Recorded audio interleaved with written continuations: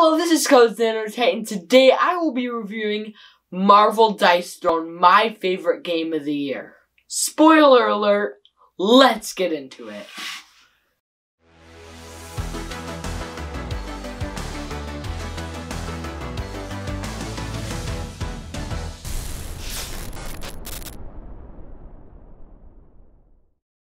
At the start of the game, you choose your character, and then you set it up. So let's see how the dice work.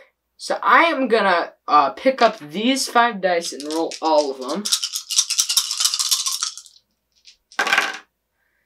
Oh, so since I got a oh, since I got a scepter, I'm gonna go for mockery. So I I would re-roll all four of these dice. Ooh, I got another scepter, but let's re-roll.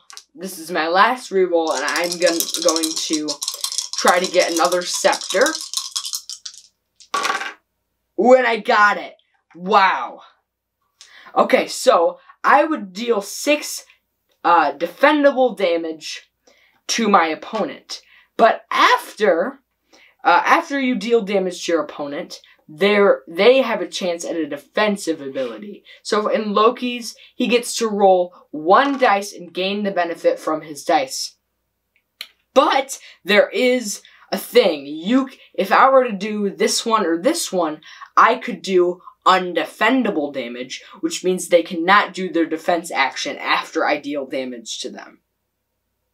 Another thing that comes with your abilities is that sometimes it can give you status effects, kind of like his defensive, or this one, for example, gives you status effects when you get a certain thing or you do a certain thing.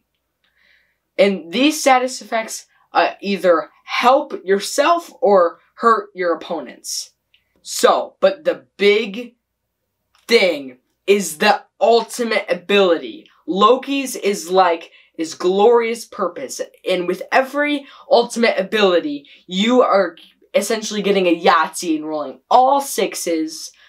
Um, and in Dice Throne, a Yahtzee, you get to gain a ton of status effects and deal a buttload of undefendable damage to your opponent. So let's see how the cards work. So these main phase actions, one type of main phase action is the uh, upgrade where you just play this and you put it on that, or you put it on Mockery, so this is Mockery too, and it makes it a little bit better. Deals more damage, and it even gives you a status effect. The other type of main phase action gives you something to do that's kind of uh, interesting, like this one is to roll a dice and then gain from that. So for the roll phase action, you do that on your roll phase, you can, uh, that can kind of uh, affect your roll. This is an instant action, so uh, you can do it instantly. So I draw three cards instantly. And typically, I would have to buy uh, uh, these cards with combat points. And you gain combat points every turn. Uh, you gain one combat point. Uh, so uh, it in the corner it says so for this one it says two combat points. It can go higher or it can go lower for example, this one is just free, so you can just play that. But for this one, you would have to tick your dial down to zero. Um, and that's how the cards work. And that's how you play Dice Throne. What I like about Marvel Dice Throne is that it's like Yahtzee, but even better, with adding things like combat points, cards, and things like that to build off Yahtzee and make it even better.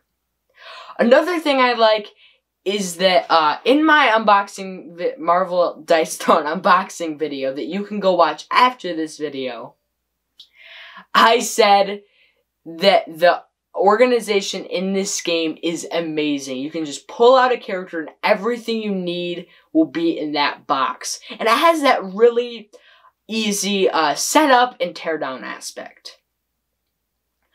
Another thing I like is that um, on the back of your special abilities card, there will be uh, a difficulty. So if, like, you're playing Loki, it'll be a little harder. Uh, or if you're playing Spider-Man, it'll be a little easier. So if you're a new player, you might want to play something that's a little easier and you can find that in the back of the card. But if you're a nerd, you want to make things more complicated for yourself, you can.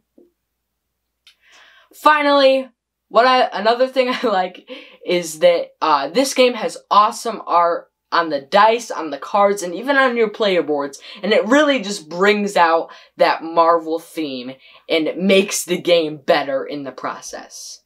And that's what I like about Marvel Dice Throne. If you're as excited about Dice Throne as I am, you have to smash the subscribe button and smash the like button and smash the notification bell for more content. Um, go check out my merch store that, because that's the best way to support me. And check out my Instagram. Have a good day, guys. Bye.